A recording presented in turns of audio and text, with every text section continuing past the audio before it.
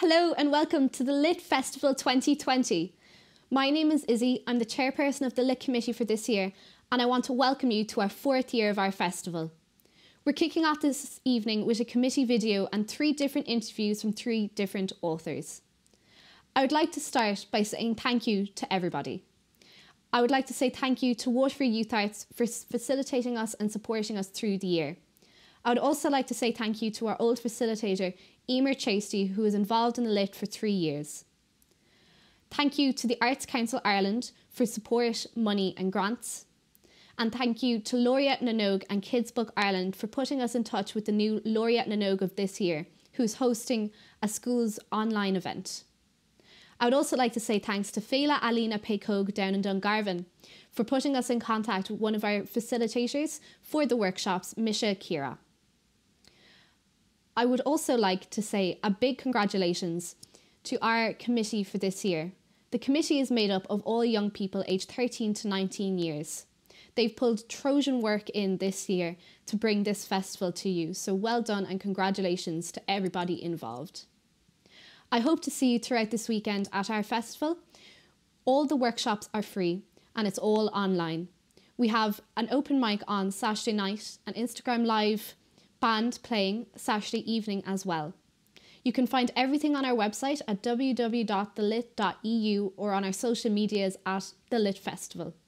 Thank you so much and stay lit.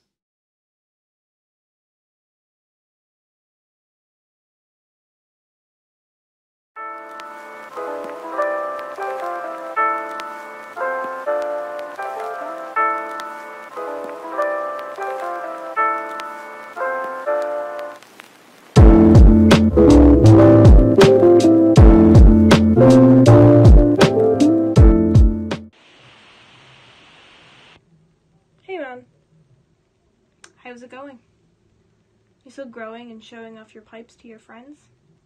I hope so. It's only been two years, but I still hear all of our war stories from before. It's mad, isn't it? How people grow apart. I see you in town around my old friends, pretending that I don't see you, but I do. I miss you. I was close to you in a way that never felt mistaken for a romance. We'd smoke, dance, laugh in a heap of grass. The pigs never had a chance on our comedic acts. I walked past your granddad's actually. Funny how I remember where your granddad lives. I was there when she broke your heart. Played darts to forget the parts where you said I love you and we'd share a joint too. People told me that you went sober over all your money. Funny, I didn't believe it. You broke your bones for that business. Your mental well being or an illness never stopped your fascinating willingness. You never stopped. Sometimes I'm tempted to text you. Whether it's a quick hello or a deal over the phone or a a J to smoke on the road and you'd probably respond and, well, I don't know if you give it to me for free. Guess I'll just have to text you to find out, huh?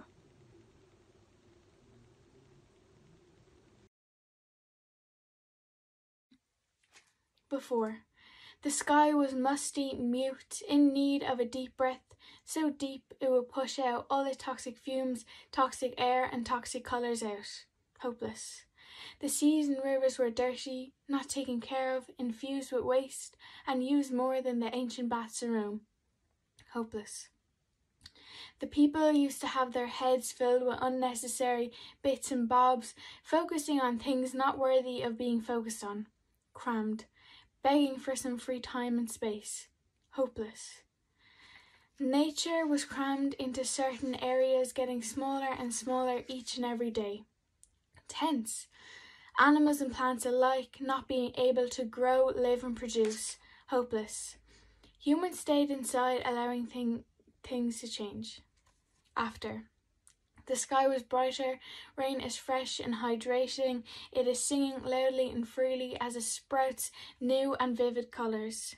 The seas and rivers are now alive. Mother Nature is looking down at them with hope, cherishing the new and old gifts that return. The people's minds are now clear, after stepping back and realizing what is important family, friends, and loved ones. No, their minds are not empty, but producing new ideas and differently. And now nature is free, everywhere, growing, producing, making new homes, and settling. All this change has happened and is happening because we had hope. So up my seams, fill me with fluff. I'm a cuddly friend. You love me so much. I need to get a bigger sewing machine to pierce some larger hole in myself. Grab the scissors and watch the dreams cascade. To gather the puddles and have no worries. I'm all gone. I've torn all over. My body joins a sea of strings, and I've been thrown away with nowhere to go, evermore.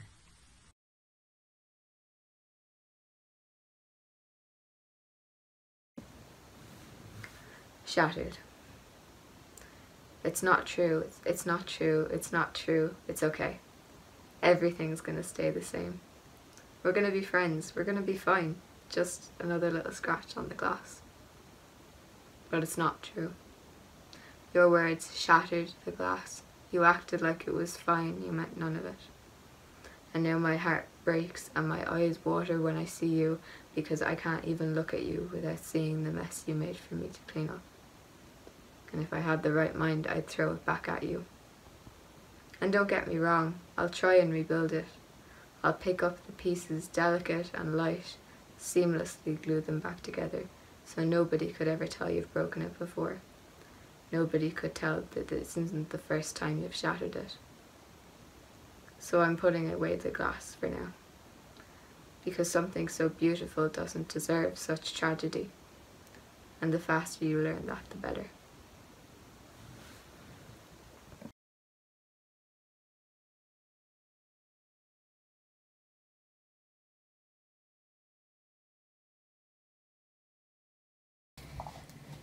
Sunny California, 1977. Platform sandals, dark denim flares, windows down as ABBA blares. A green cut crease with a big white wing, having hair like Fawcett was the next best thing. Newcomers like Fisher and Ford ruled the screens as people ranted and raved about the famous Star Wars teams. Bands like ELO dominated the radio, but Sonny and Cher were still taking it slow with Baby Don't Go. Seven years since the Beatles have split, now Fleetwood Mac are falling to bits. That was the summer of 1977. The place I long to be.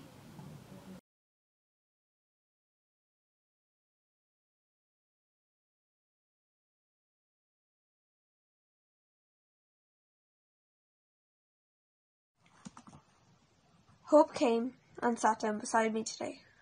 She perched timidly next to me and held out her hand as if to say hello. Yet I recoiled. Go away.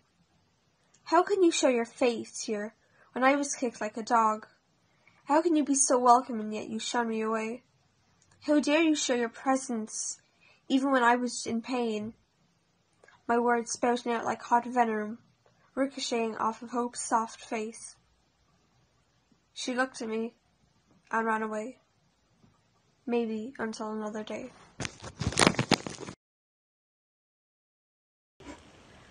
Ambition by Izzy Tiernan. I can't explain to you what wanting feels like. You may say that it's a burning or yearning somewhere between your ribs and spine.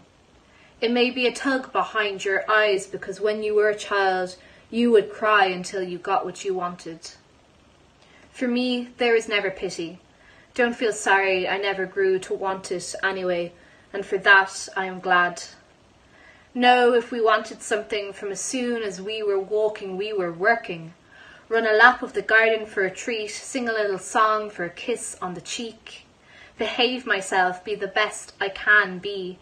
I might receive praise from my mam, the only goddess we were ever taught to know. So when I began to grow, that ambition rose with me, a faceless religion using me as a home. But I did not know how strong it had become until I was 13 and I wasn't the smartest kid in class anymore.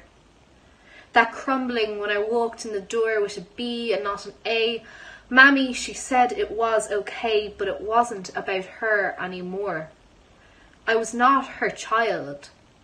I was a worker of wanting. I spent every minute seeking what would make me whole. This is why they say that wanting is a burning, because, darling, did I burn. My fire reached for the heavens, but never high enough, and I pushed crescent moons cut into my palm from having white knuckles straight back, tight jaw control evermore, until my ashes were all that was left. Since then, I have regrown, changed but kept that burning inside of me. I don't think I could remove it, even if I wanted to because who would I be without the screaming and pleading, arguments and snarky comments, double crossing, never stopping? I will be that glorious bastard if it kills me. I have my eyes set, heart heavy, or I may settle. In a tiny village in Kerry, I can feel the sea breeze and green hills calling me. But it will not please the hunger, the buzzing of the bees inside my brain, wanting to achieve, and I feel like screaming because, like them, all I want to do is escape. The ladder that I will clamber, it is never ending. My hands are already aching to let go, to fall, but the bottom is so far and so daunting. Yet I felt its sweet embrace before, kissing my cheeks. So it is not the descent that terrifies me, only the long way back up. O sweet ambition, you are the false god I worship.